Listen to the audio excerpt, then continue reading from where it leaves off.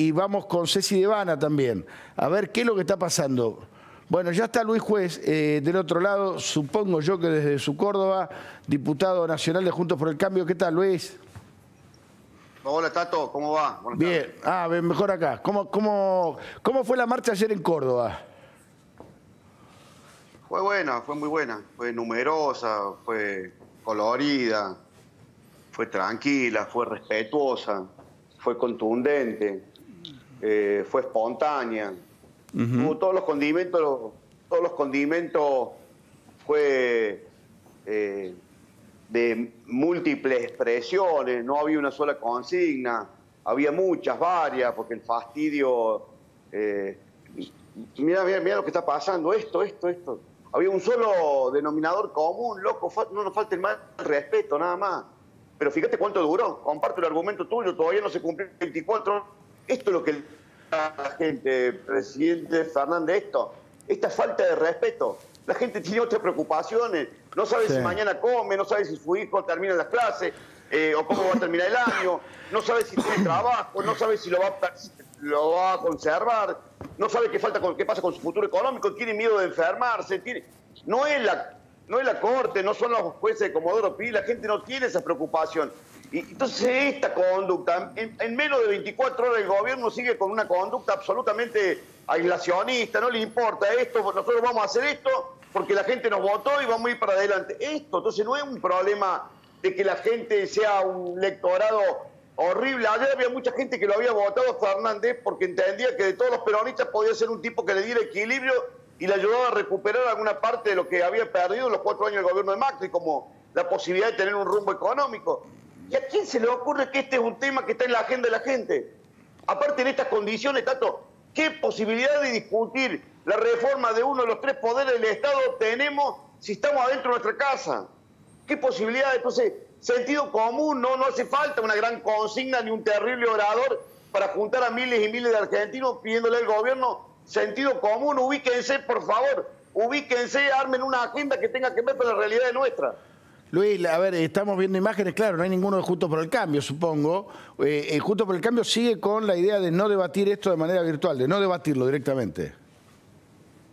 El diputado no lo vamos a debatir a eso. En el Senado ellos siguen con, el reglamento que todavía tiene. Nosotros lo ah. que nosotros estamos dispuestos a discutir los temas los temas que tengan que ver con la emergencia económica, que tengan que ver con la emergencia eh, sanitaria, eh, por vía Zoom, pero nada más que esos temas. No estamos dispuestos a discutir un tema de esta profundidad. El reglamento venció, hay que renovarlo y no lo vamos a renovar para discutir estos temas. El, Senado todavía tiene vigencia, por eso están discutiendo estas cuestiones. Claro, acá están los senadores, me corrijo, porque en el Senado tienen un eh, eh, todavía un reglamento anterior vigente, por eso está por ahí Luis Naidenov. Bueno, en el Senado sí, de todos modos, Luis, en el Senado da la sensación, y la suma Jessica también desde la casa, eh, que van a perder, que va a salir la reforma. ¿Qué, ¿qué sabes? Sí. Sí, sí, sí, sí. Ahí me comentaba el senador Martínez, que es el senador del Frente Cívico de Córdoba, los tipos no les importa absolutamente nada. Armaron una agenda de invitados, esperan concluirla en el transcurso de esta semana y la que viene eh, a más tardar terminar despachando para poder eh, eh, tener despacho y comisión esta semana y poder la semana que viene tratarla en el Senado. No les importa absolutamente nada, te quiero decir, Tato, nosotros podemos pasarnos horas discutiendo esta cuestión. Ellos ya tomaron la determinación de sacar media sanción en el Senado y creo que cuando tengan despacho esta semana, la semana que viene están convocando a una sesión para para darle media sanción a este proyecto, ¿no? Sí, sí. Sí, Luis, ¿qué van a hacer en la Cámara de Diputados, más allá de la posición de Juntos por el Cambio de no participar del debate, para que esto eh, no se apruebe? Porque ahí hay un bloque que es el de la baña, el de consenso federal, que tiene posturas a veces a favor del oficialismo, a veces en contra. Se está poniendo mucho la lupa sobre los diputados cordobeses, los, me refiero a los peronistas, los que responden a Schiaretti, eh, ¿qué, posibilidades tienen ustedes de convencer esos bloques eh, de que no apoyen esta reforma para que no logre la sanción? Mirá, tienen más chance ustedes que nosotros, porque nosotros no tenemos con qué tentarlos a los diputados, a los cuatro diputados de Córdoba. Ustedes sí le pueden mostrar la imagen, le pueden decir, mire, cheque, la gente con ustedes ha tenido una gran expectativa. Eh, no fueron opositores, pero también eh, no se convirtió en, diputados oficialistas. Te diría que los cuatro de Córdoba vienen tocando en sintonía eh, estos ocho meses con lo que el gobierno nacional les pide. Pero ayer en Córdoba, por ejemplo, Ceci, La marcha tuvo una característica muy particular, el cordobés, en donde en gran mayoría, casi diría abrumadoramente, votó en contra del proyecto eh, del gobierno nacional, muchos peronistas que veían en Fernández un equilibrio y la posibilidad cierta y concreta de terminar con el gobierno de Macri, pero evitar que la cámpora y el kirchnerismo se llevara todo por delante, le dieron un voto de confianza a Alberto Fernández. Hizo una buena elección en Córdoba, eh, acompañando al electorado de Schiaretti. Y ayer se dirigían a los cuatro diputados de Córdoba, entre ellos la mujer del gobernador, a la que le decían, mire que lo estamos mirando, hasta ahora han votado todo en sintonía y se han prestado para darle quórum a, Sergio Massa, eh, porque Massa tiene mayoría para discutir, pero no tiene quórum para iniciar. Bueno, ahí los diputados de La Baña y los cuatro de Córdoba siempre se sentaron. Yo espero que, eh, como pasó con el tema de Vicentini, cuando se instaló el tema de la propiedad privada en el interior de la Argentina, es un tema que caló muy hondo y ellos inventaron en aquel momento la teoría que no iban a acompañar. Bueno, el destino quiso que ese proyecto no llegara a, diputados y, no pudimos saber nunca si realmente se iban o no se iban a sentar. Bueno, esto va a llegar a diputados porque como, creo que va a seguir la, cronología de los hechos, la semana que viene va a tener media sanción, así que esperamos que los cuatro diputados de Córdoba, los diputados de La Baña, eh, realmente sean el equilibrio en la República que prometieron que iban a hacer. Nadie les pide que estén a favor nuestro, que somos diputados opositores, pero les pedimos que nos ayuden a tener un gesto de sensatez. No se puede cambiar un poder, uno de los tres poderes del Estado, en el patio de tu casa. Con este debate no se puede. Eh, Luis, ¿y cómo está la hablaste de la oposición? ¿Cómo está la oposición? Porque pareció como dividida en, relación a la, manifestación de ayer. Y Tato, yo, eh, en esto no sabemos que vamos a pagar un costo, porque nosotros tenemos tipos que están gobernando y que tienen una gran responsabilidad de gestión. No es lo mismo, yo puedo hablar con semejante nivel de, si se quiere, de, de libertad. sí. Sí, porque yo no tengo la responsabilidad de administrar millones y millones de, de, conciudadanos que dependen de mí y al mismo tiempo dependen del presupuesto del gobierno nacional. Esa libertad no la tienen algunos gobernadores, no la tiene el jefe de la Ciudad de Buenos Aires, lo que no quiere decir que no esté compartiendo esta idea de ponerle un límite a esta locura de querer...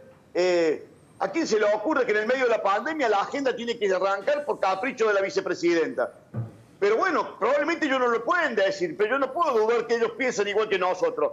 Eh, el tema es que ahí pareciera y luce como que hubiera una, contradicción, pero yo te diría, eh, con todo respeto, yo no lo he hablado con Horacio Rodríguez Larreta, pero yo entiendo que eh, intentar politizar y partidizar el Poder Judicial es un reclamo de no solamente los opositores, sino de cualquier persona que ame la República.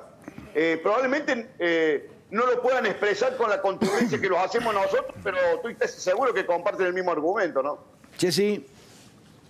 Sí, eh, ¿cómo te, cómo te imaginas eh, estos próximos meses donde la tensión pareciera ser que sube y donde eh, la gente, más allá de la cuarentena y de la pandemia, y que, y que ponga en riesgo hasta su propia salud en muchos casos, está buscando la calle como una alternativa para, para protestar? ¿Cómo te imaginas ese conflicto que se está dando? Va a ser complicado, Ceci, porque estos tipos no van a retrucar. Eh, eh, lo que el peronismo no se resigna es haber perdido el monopolio de la calle.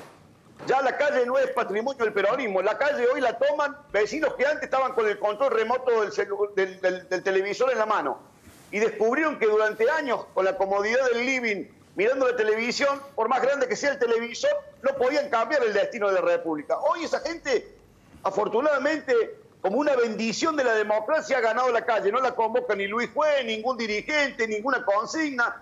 No van a un acto esperando que lo hable fulano de tal y, arengue la masa. Van, cumplen eh, eh, un rol republicano maravilloso. Pero esa gente eh, le ha quitado el monopolio casi histórico que ha tenido el peronismo en la calle. ¿El peronismo cómo le va a contestar? Seguramente en un acto el 17 de octubre. Ahora, sé si podríamos ganar en tranquilidad el gobierno podría, mientras dura la pandemia, podría no generar hechos que generen semejante nivel de conflictividad. Y se acabó el problema, porque ahí sí sería un acto irracional. Si yo no te provoco, Estado, ¿por qué reaccionar de semejante manera generando la posibilidad de que esta situación de la pandemia se nos pueda descontrolar? Ahora, si yo te provoco, si yo te arrebato, si yo te atropello, y es natural que el ser humano tenga derecho a decir, no, pará, pará, que acá estoy yo, no me pasé por encima. Ahora el gobierno tiene la llave de la mano. Podría desandar este camino, convocar a la tranquilidad, pacificar los ánimos. Y acá tenés uno, ¿eh? Yo me anoto para la reforma judicial, yo me anoto para discutir la reforma de la justicia, pero en otras condiciones. Quiero participar, quiero que me escuchen, quiero escuchar a los colegios de abogados, a las asociaciones profesionales, a los colegios de magistrados. Quiero participar de otra manera, no se me ocurre que yo pueda contribuir con 34 años de abogado penalista a una reforma de la justicia que hay que darla desde el patio de mi casa con la comodidad que estoy ahora el living de la misma, ¿no? Me parece que así. Pero esa llave la tiene el gobierno. El gobierno no puede responsabilizar a la gente de las situaciones que ellos mismos provocan. Ellos provocan, excitan y después hacen las víctimas cuando la gente sale en la calle. Lamentablemente ya no lo va a poder evitar. La gente no, te, lo digo, Ceci, la gente no espera un colectivo para que la lleve al, centro, no espera que le den un choripán, no van a escuchar un discurso encendido, van con su propia consigna, van y vuelven, no van a hacer quilombo, no van a romper vidriera, no van a confrontar con nadie. Ahora, esas demostraciones son masivas y no las puede conducir absolutamente nadie. Y querés que te diga la verdad, siendo un viejo dirigente, voy a cumplir 57 el mes que viene, me parece excelente, excelente que la gente se haya dado cuenta que la República la cuidamos entre todos y no solamente un puñado de dirigentes. Eso el peronismo todavía no tomó la lectura, cree que lo va a poder controlar y lamentablemente para ello no tiene más control eso. Qué interesante, sea que la, gente tiene más poder que ustedes hoy. Es cierto, y no hay que avergonzarse. está bien que así sea. está muy bien que así sea porque la gente te va marcando un camino, Tato. La gente con inteligencia te va diciendo, loco, para, no alcanzó para ganar, pero en esto, en esto ponete, viejo. Porque esa, esa mayoría silenciosa que antes, cuando, cuando vos perdías una elección, la tenías que bancar por cuatro años hasta que la gente volviera a votar. Hoy la gente ha tomado otra actitud y te lo dice en la calle. Ayer me lo decía, che, Luis, eh, escúchame, eh, vos tenés que hacer algo más, ¿eh? tenés que, ponerte firme. Sí, loco, quédate tranquilo. ¿Qué te crees que estoy haciendo acá? ¿Que vine a tomar sol? No, bueno, pero eh, mirá que nosotros estamos mirando, ¿eh? Mirá que nosotros tenemos, eh, lo estamos controlando. Es maravilloso. La verdad que yo lo tomo como un acto de democracia que hacía muchísimo tiempo que no se vivía. A mí no me tocó ser legislador cuando la gente eh, deliberaba en la calle como pasa ahora. Entonces hoy tengo una doble responsabilidad porque tengo que cumplir con lo que me comprometí en la campaña, pero también tengo una gente que me respira en la nuca y me hace saber por dónde tengo que ir. Entonces no es que el dirigente opositor hoy pueda hacer lo que se le ocurra. La gente hoy te está diciendo, te está marcando un camino. Entonces, ¿qué podemos hacer nosotros para darle racionalidad? ¿Qué podemos hacer nosotros que la gente en la calle no puede hacer? Es dirigirnos al presidente, decirle, presidente, reencaucemos este tema, recuperemos la confianza, ganemos en confianza mutua generemos el clima propicio para discutir los temas que usted quiera, pero en un marco de tranquilidad. No pongamos en riesgo a la población, no la agite, no la excite, no la, no la obligue. Bueno, ahí, se, ahí se, le pasó el tiempo a Luis. Gracias, Luis Juez. Eh, el Zoom tiene... Bueno, de paso lo, sumo a, Ale Maglietti y a, y a Juan Pisanoto. ¿Volvió Luis? Lo saludamos, Luis. ¿Volvió? Chao, Tato. Chao. Tenés que pagar el Zoom para que no se te corte. Pero bueno, también tenemos esos problemas. Chao, gracias. Un beso. Ahí está, ahí está Luis Juez. ¿Cuánto vale? Anoto el, el Zoom pago, ¿sabes? jamás pagué el Zoom. Es más... 10 este, dólares, me dice Mili. 10 dólares, mira. Sin pagarlo, eh, por lo menos en los Zoom familiares ya nos dan tiempo ilimitado. Ya dice, ¿No dura más 40 minutos? Sí. dura 40 minutos, pero a veces te aparece una leyenda de que tenés este, tiempo ilimitado.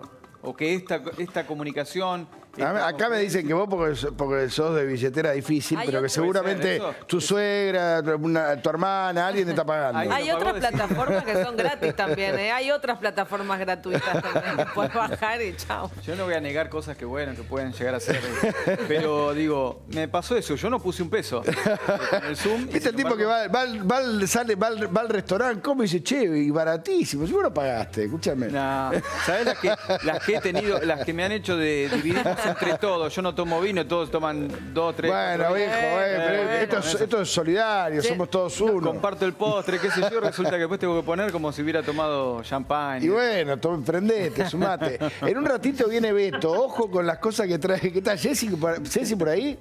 Jessy, no, muy bien, que no se vaya, Jessy. En un ratito viene Beto, Jessy. Eh, ¿Dónde está Beto? Mira, ahí está Jessy. Eh, ahí salgo yo. eh, Acá, me salgo estoy yo. riendo de los comentarios de. Bien, bien, bien. bien. No, viene Beto con imágenes de lo que fue la marcha ayer en el conurbano bonaerense. Se van a quedar helados. Helados.